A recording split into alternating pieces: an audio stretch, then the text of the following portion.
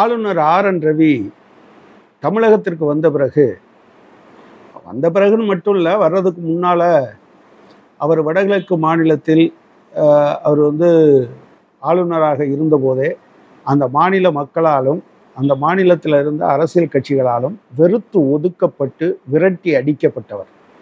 ஆனால் சில பேருக்கு வந்து பட்டா மாறுவாங்கன்னு சொல்லுவாங்க. இவர் பட்ட பிறகும் கூட மாறினது மாதிரி தெரியல. தமிழகத்துக்கு வந்த பிறகு ஒரு கோயில் காலம் மாதிரி அலைகிறார் நீ நெற்றிக்கண்ணை திறந்தாலும் குற்றம் குற்றம்தான்னு சொன்ன மரபு தமிழ்நாட்டில் இருக்குது இதையெல்லாம் கொஞ்சம் அவர் புரிஞ்சுக்கணும். இதை புரிஞ்சுக்காம நான் கவர்னர் எனவே என்னைய பேசினா நீங்கள் வந்து மார்க்சியத்தை செத்துப்போன தத்துவம்னு நீங்கள் சொல்லுவீங்க.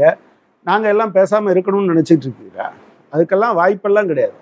செத்துப்போன தத்துவம்னா அதனுடைய உண்மை நிலையிலிருந்து பேச வேண்டிய பொறுப்பு மார்க்சியத்தால் விடுதலை பெற்ற விடுதலை பெறுவதற்கு வாய்ப்பு இருக்கிற அத்தனை பேரும் பேச வேண்டிய அதை பாதுகாக்க வேண்டிய ஒரு தத்துவம் இல்லையா? நீங்கள் சொன்னோன்னு நாங்கள் கேட்டு போகணுமா? நீங்கள் அது எல்லாத்துக்கும் அத்தாரிட்டியா சரி உலகத்தில் நீங்களும் சரி உங்கள் மாஸ்டர் மோகன் பகவத்தும் நேற்று சொல்லியிருக்காரு.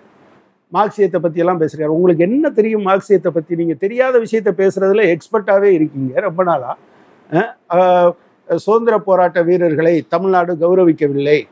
சுதந்திர போராட்டத்துக்கும் உங்களுக்கு என்னங்க சம்மந்தம் போல சங்கரையா மாதிரி அவர் ஜெயிலுக்கு போகிற போது வயசு பத்தொம்போது. அதில் ஒன்றரை வருஷம் ஜெயிலு. ஆயிரத்தி தொள்ளாயிரத்தி நாற்பத்தேழில் விடுதலை. ஆறு ஆண்டுகள் சுதந்திரத்துக்கு முந்தைய ஆறு ஆண்டுகளில் நாலரை ஆண்டு காலம் அவர் என்னைக்கு அரசியல் எடுத்து வச்சாரோ அந்த நாலரை ஆண்டு அதில் ஆறு வருஷத்தில் நாலரை ஆண்டு காலம் சிறைச்சாலையில் இருந்திருக்கார். இப்படியான எதுவுமே உங்களுக்கு இல்லை. எனவே நீங்கள் சுதந்திரத்தை பற்றி இவங்க கவலைப்படலைன்னு நீங்கள் பேசுனா நாங்கள் வந்து ஐயான்னு வாய் பற்றி கைகட்டி கேட்டுக்கிட்டு இருப்போம்னு நினச்சிட்டு இருக்கீங்களா? நீங்கள் பிரிட்டிஷ்காரன்ட்ட உங்கள் ஆட்கள் இருந்தது மாதிரி நாங்கள் அப்படியெல்லாம் இருக்க மாட்டோம். அவ்வளவும் பொய்யாகவும் புழுகாகவும் சொல்கிறதுல நீங்கள் உச்சத்தில் இருக்கோம் காந்தி என்னமோ பெருமைப்படுத்துறது மாதிரி நீங்கள் பேசிகிட்டு இருக்கீங்க. காந்தியை நீங்கள் கொண்டாடுறது மாதிரி. இடையில மாண்புமிகு அமைச்சர் துரைமுருகன் ஒரு விஷயத்த சட்டமன்றத்தில் சொல்லியிருந்தார். அவர் வந்து குடியரசு தினத்தன்னைக்கு எங்களை எல்லாம் கூப்பிட்டாரு. நாங்கள் போயிருந்தோம். விடுதலை போராட்டம்னு ஒரு படம் போட்டாங்க. அந்த படத்தில் காந்திங்கிற பேரே இல்லை காந்தியினுடைய ஃபோட்டோவும் இல்லை. உங்களுக்கு எப்படி இந்த ஆர்வம் எங்கேருந்து குதிச்சு வந்ததுன்னு எனக்கு ஒன்றும் புரியவே இல்லை. பிறகு இன்னொன்று சொல்லியிருக்கீங்க விடுதலை போராட்ட வீரர்களை எல்லாம் ஜாதி தலைவர்களாக மாற்றிட்டாங்க அப்படின்னு. அப்படி மாற்றி வச்சிருக்கிறது யார்? அமித்ஷா. அப்படி மாற்றி வச்சிருக்கிறது யார்? நரேந்திர மோடி. அப்படி மாற்றி அவங்களையெல்லாம் அப்படி பண்ணுறதுக்காகவே தனி விங்கு வச்சுருக்கீங்க. தமிழ்நாட்டில் தெரியுமா? பாஜக ஒவ்வொரு ஜாதியில் இருக்கிற யாரா அதாவது விடுதலை போராட்டத்தோடவும் உங்களுக்கு சம்மந்தம் இருக்காது. அவங்க தன்னை பிற்படுத்தப்பட்டோர் பட்டியலில் சேர்த்து இடஒதுக்கீட்டுக்காக போராடும் போதும் உங்களுக்கு பங்கு இருக்காது. திடீர்னு உங்கள் ஜாதியில் இன்னாரு அப்படின்னு சொல்கிற ஆட்கள் யார்? எல்லாம் சங் பரிவார் ஆர்எஸ்எஸும் பிஜேபியும் தான். எனவே இப்படி பேசுவதை நிறுத்தி கொள்ளணும் அப்புறம் பொய் பொய்யா பேசுறது. பதினெட்டு நாலு ரெண்டாயிரத்தி இருபத்தி ரெண்டில் தர்மபுரம் ஆதீனத்துக்கு இவர் போனார்.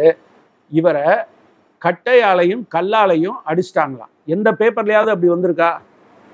கவர்னருக்கு காயம் கட்டையால் அடித்தாங்க கல்லால் எரிஞ்சாங்க என்று எந்த பேப்பர்லையாவது வந்திருக்கா?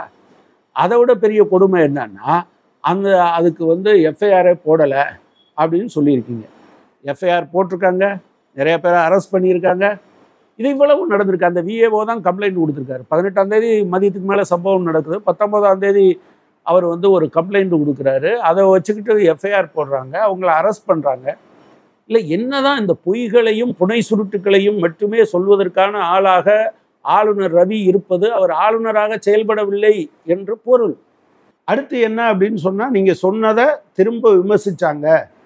அதனால திமுக காரங்க மேடையில் விமர்சிச்சாங்க சோஷியல் மீடியாவில் விமர்சித்தாங்க அப்புறம் அதனுடைய கூட்டணி கட்சியெல்லாம் விமர்சித்தாங்க அதனால எல்லாரும் எங்கள் மேலே தாக்குதல் நடத்துகிறாங்க இந்த வன்முறைக்கெல்லாம் அவங்க தான் காரணம் அப்படின்னு சொல்லி நீங்கள் எழுதியிருக்கீங்க. உங்களை விமர்சித்தா உங்களை அடிச்சிருவாங்கன்னு உங்களுக்கு ஒரு அவதூறை தூக்கி எறிய முடியுது. அப்போ மற்றவங்களை விமர்சிக்கும் போது அது இருந்திருக்கணுமா இல்லையா? நீங்கள் மார்க்ஸை விமர்சிப்பீங்க. பல்வேறு விதமான தமிழ் இலக்கியவாதிகளை விமர்சிப்பீங்க. தமிழகத்தின் முற்போக்கு இயக்கங்களை நீங்கள் விமர்சிப்பீங்க. ஆனால் திருப்பி அது அவ்வளவு விமர்சனம் கூட கிடையாது. அதெல்லாம் அவ்வளவும் புழுகு. இந்த புழுகுகளை மறுத்து இது மறுத்து பேசிட்டா உடனே நீங்கள் வந்து உச்சத்தில் தலகால் தெரியாமல் அது தன் கட்டுப்பாட்டை இழந்து பேசுவது என்பது சரியல்ல. உண்மையில் என்னன்னா ஆர் என் ரவி மீது இந்த தமிழ்நாட்டில் இருக்கக்கூடிய திமுக மற்றும் மதச்சார்பற்ற கட்சிகள் வழக்கு தொடுக்கணும். அவர் பொய் சொல்லியிருக்கார்.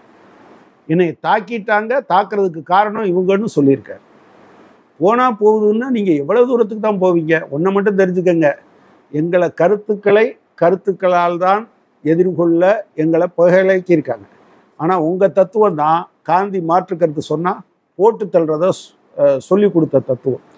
தேசத்தின் தந்தையை கொண்டவர்கள் தேசத்தின் ஆன்மாவை சுக்குநூறாக்கியவர்கள் நீங்கள் எங்களை பொறுத்தளவில் எவ்வளவு எதிர்கருத்து வந்தாலும் அதை எங்களுடைய நியாயமான கருத்துக்களின் மூலம்தான் நாங்கள் எதிர்கொள்வோம். இனிமேலாவது உங்கள் வரம்பு தெரிந்து பேசுங்கள். உங்களுக்கு இருக்கக்கூடிய உங்களுக்கு என்ன தெரியுமோ அதன் மீது பேசுங்க. அதை விட்டுட்டு அவதூறு பேசுவதை உடனடியாக நிறுத்துங்கள். இல்லை என்றால் உங்கள் மீதான விமர்சனம் இதனிலும் காட்டமாக இதனிலும் கூ கூர்மையாகத்தான் வரும். கோயில் மாடு மாதிரி நான் கோயில் மாடு எனவே நான் பயிரை அழிப்பேன். என்னை யாரும் கேட்கக்கூடாதுங்கிறது பழைய கதையாக இருக்கலாம். இது புதிய மனிதர்கள் அவர்களிடம் நான் அழிப்பேன். நீங்கள் கேட்டுக்கொள்ளுங்கள் என்கிற உங்களுடைய அராஜக வார்த்தை எடுபடாது.